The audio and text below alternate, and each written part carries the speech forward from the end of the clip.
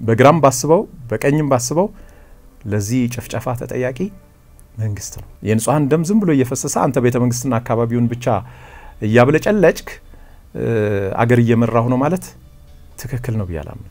መንግስት ማንን ነው የሚመራው? የማን መንግስት ነው? ቪዲዮ ልከው የሞቱ ሰዎች አሉ። ድምፅ ልከው የሞቱ ሰዎች አሉ። አይደነግጥም መንግስት የለም አይደነግጥም። እሱ ነው እኔን የሚያሳስበኝ። ልክ ነው። ወታደር ከበላይ አካል ሳይታዘዝ ሊንቀሳቀስ አይችልም። ያ ዲስፕሊን ለወታደር ግድ ነው፣ ያስፈልጋል። ለምንድን ነው የበላይ አካል ያላዘዘው ነው ጥያቄው። ስልክ ሰብስቦ መንጠቅ። ሰው ሞትኩኝ እስቲ እርዳኝ ብዬ እንዳልደውልልህ ስልክ ይነጠቃል። የመንግስት ባለስልጣናት ዝምታና ቸልታ መዋቅራዊ ድጋፍ እንዳለው ማሳያ ነው። ወያኔ ከነበረ መቆጣጠር ያቃተው መንግስት አሁን ከማን ጋ ነው? ማን ነው እነዚህን ኃይሎች እየደገፋቸው ያለው? ልትክደው የማትችለው የኦሮሞ ነጻነት ሰራዊት የሚባል ኃይል አለ። እዛ ጋር ኮማንድ ፖስት አቋቁመህ ወለጋ ላይ ችላ ማለት ምንድን ነው ፍላጎቱ? መንግስት ንቀኸውም ተንቀህም አይሆንም። ኢህአዴግ እያወገዝክ ኢህአዴግ የሰጠህን ካርታ ተቀብለህ የገዛ ወንድምህን በጥይት የደፋህ መኖር ያዛልቃል ወይ ነው? ወደኋላ ትረስ መደራረግ ካለብን አንተም ወደ መጣህበት እኔም ወደ መጣሁበት ነው። እንደሱ ማለት ከጀመርን ምን ይሆናል መሰለ፣ አሁን ውጣ የምትለው ማህበረሰብ ምናልባት የሚያስወጣህ ይሆናል። በዚህ አይነት የኔ ነው የኔ ነው ስሜት የምንሄድ ከሆነ ፈርሰን እናፈርሳታለን እንጂ የትም ጋር ልንኖር አንችልም። ተለያይተን እንኳን መኖር አንችልም። አይገርምም? ኦሮሚያ ክልልን ብትገባ፣ አማራ ክልልን ብትገባ ከንትን እስከ እንትን የኔ ነው የሚል ገበሬ አይቼም ሰምቼም አላውቅም። ሊከላከል ካልቻለ መንግስት ይፈርሳል እንጂ አገር ታፈርሳለ እንዴ? መከላከል ካቃተው መንግስት ነው መነሳት ያለበት። ማህበረሰብ አይነሳም። የአማራ ፖለቲከኞች፣ የአማራ አክቲቪስቶች ለቅሶ ደራሾች ናቸው። በውስጥህ አማራነትን ይዘህ ኢትዮጵያዊ ነኝ ማለት ምንም አይጠቅምም። መጀመሪያ አማራ ሁን፣ አማራ ሁን፣ አለበለዚያ ደግሞ የምር ኢትዮጵያዊ ሁን። ለማን ነው የአማራን ብልጽግና አሳልፈው የሚሰጡት? ለማን ነው የአማራ ብልጽግናን የምትገዘግዘው? ማንን ልተካበት ነው? ይሄ ባሪያ ይሄ አሽከር ትንሽ ወደ ህሊናው ተመልሶ ለአማራ ህዝብ ልቆም ቢል ምንም ደጀን የለውም።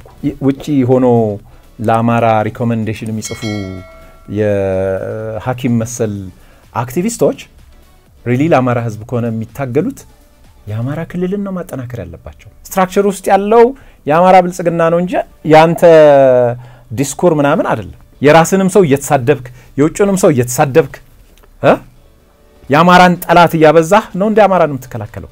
አብን ስትለው ቀድሞ አናት አናቱን የሚቀጠቅጠው የአማራ አክቲቪስት ነኝ ባይ ምናምን ነው። የአማራ ብልጽግና ስትለው ቀድሞ አናት አናቱን የሚቀጠቅጠው የአማራ ተቆርቋሪ ነኝ የሚል አክቲቪስት ፖለቲከኛ ነኝ ምናምን የሚል ነው። ባሪያ እኮ የሆነ ጊዜ ለምንድን ነው የተበደልኩት፣ ለምንድን ነው የምረገጠው ይላል። ለምን ይህን እድል አትሰጠውም? እንኳን አይደለም አማራ ክልል ኢትዮጵያ ውስጥ እኔ ለውጥ ከዚህ በኋላ ይመጣል ብዬ የማስበው ከራሱ ከብልጽግና not ከነዚህ አነስተኛና ጥቃቅን ፓርቲዎች ምንም አልጠብቅም። በተለይ ኢትዮጵያ የሚለው community ምንም ያልተደራጀ ነገር ሳይኖረው መፈክር ብቻ ነው የሚያዋጣው፣ ስድብ ነው የሚያዋጣው፣ ለቅሶ ነው የሚያዋጣው። so እንዴት ነው ለውጥ የሚመጣው? ለምንድን ነው ብልጽግና ውስጥ ያለ በሙሉ ምናምን የነካ እንጨት አድርገህ የምታስበው?